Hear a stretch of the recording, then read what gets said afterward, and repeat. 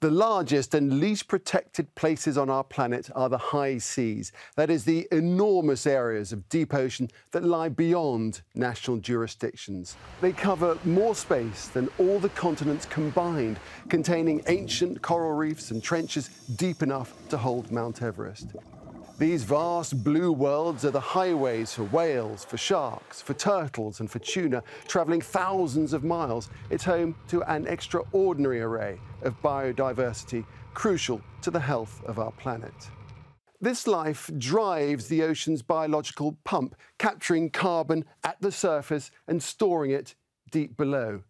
Without this, our atmosphere would contain 50% more carbon dioxide, and the world would be too hot for life. But the global oceans are under threat, facing growing exploitation, including unregulated fishing and the emerging deep sea mining industry. Throw in climate change, ocean acidification, and plastics, well, you've got a toxic mix. Now, in a new report commissioned by Greenpeace, scientists from Oxford and York universities in the UK are laying out how it's crucial that at least 30% of the world's oceans are protected as ocean sanctuaries by 2030.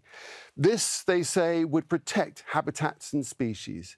It would rebuild biodiversity and allow ecosystems to recover. And crucially, they say, it would lead to an increase in fish stocks outside the sanctuaries, helping to underpin global food security.